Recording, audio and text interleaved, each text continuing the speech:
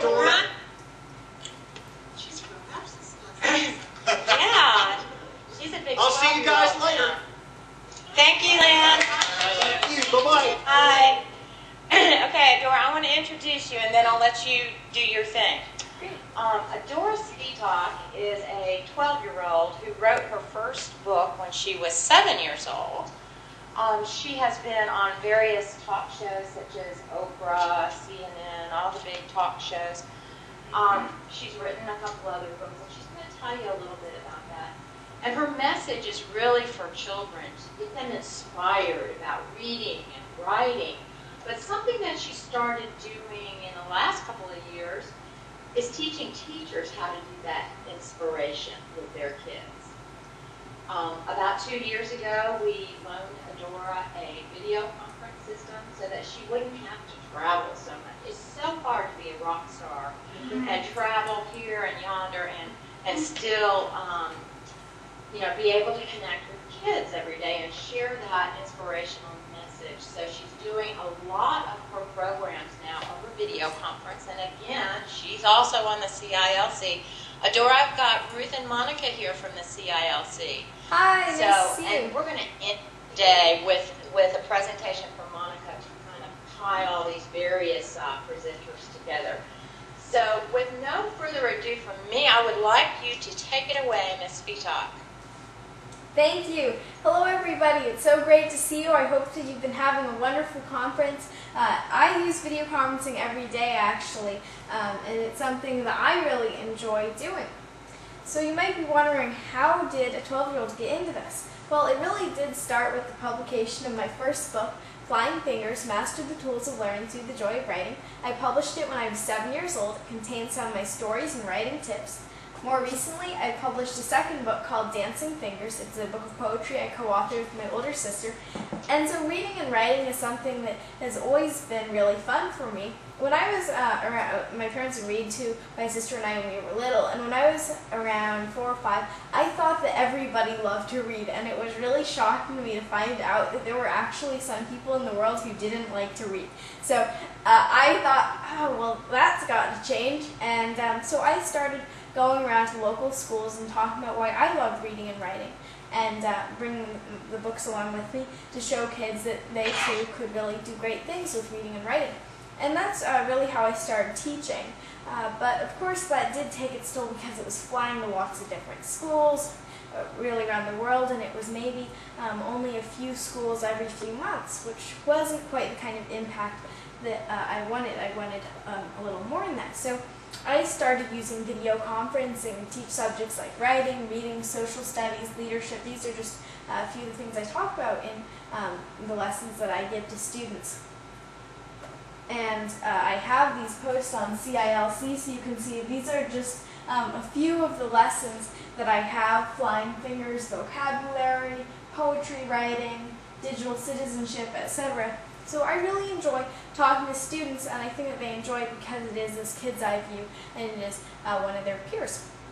So uh, those are the programs I have for students, and I use tools like CILC, Tandberg, and Active I have behind me uh, to share these lessons. Now I wanted to ask you, are you familiar with CILC? Can you raise your hand if you have used CILC before?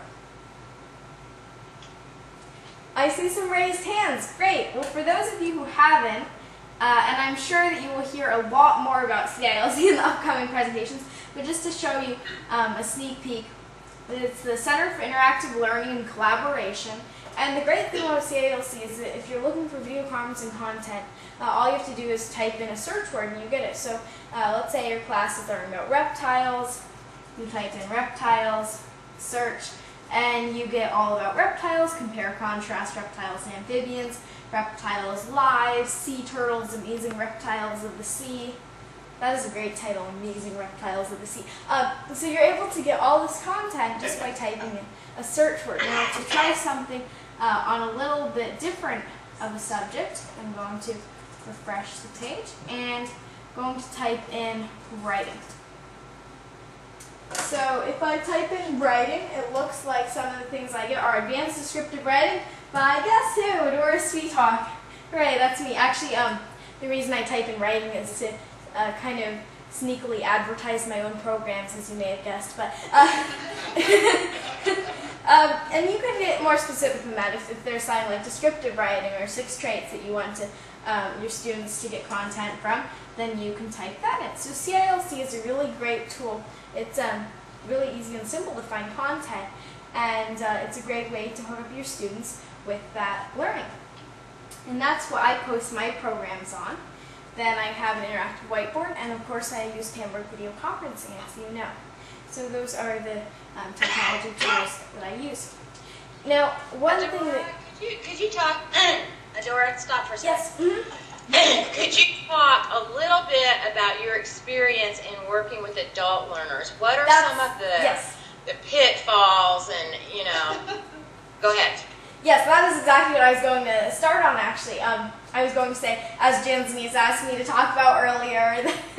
um, so yes, thank you for reminding. Um, so I um, not only teach students, but I also talk to teachers quite a bit with professional development, and that's another cool thing about CILC. It's not just for finding content for students, it also has a lot of professional development for teachers.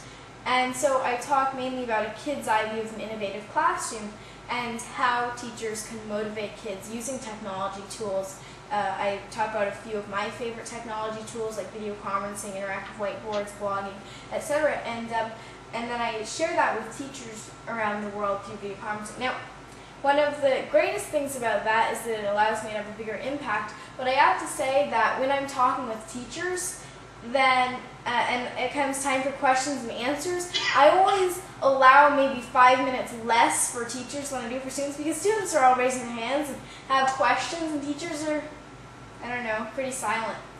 And I'm not sure why this is. My theory is that since uh, first grade and second grade, everybody's raising their hand.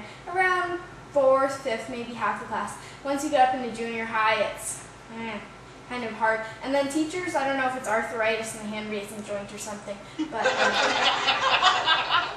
yeah, um, questions. That would be one of the challenges I would say about talking with teachers and professional development. Not that many questions. But um, on the other hand, it can be really, uh, a lot of times if I'm making jokes, then teachers will get them more often, or at least quicker than sometimes students will. Uh, so I hear more laughter most of the time. Um, which is which is good because I make a lot of jokes, and if they fall flat, then I'm like a, another pitfall about talking to students is I can't really make as many jokes about news. But yes, I see a raised hand. Uh, Dora, I have a question. Yes, thank you. have you ever done? Have you ever done a blended in service with students and teachers? I actually did do that once. I believe it was uh, Broward County teachers and students, which was really an interesting experience um, because I was talking, the presentation itself was tailored more for teachers, but then there were students there, and so occasionally I would address the students and say, What do you think about this? What are some of the suggestions you have for teachers? And I would like to do more of those because it's a good way. For me, I feel like if it's just me talking, it's only one student, it's even more powerful if teachers can get input from all of their students. And um, so definitely that would be an interesting thing to consider, and that's a great idea. I think it would be too the impact, just because having you here with teachers, but if you had teachers watching their students, watching you, woo! Yes, that would be amazing. Oh, and actually, there was another one. Um, I was recently at the eTech Ohio conference, and Jan was there as well. Um, and and there was uh, I was teaching personal narrative to some students, and then there were some teachers watching that. So that was pretty cool. It was a lot of interaction that way. But um, I would love to do more of those. Thank you. Yes. Um, now, and as far as uh, successes go, there is one, and this is actually on, on the line of students. But I was speaking one time with Ballard Elementary School about poetry,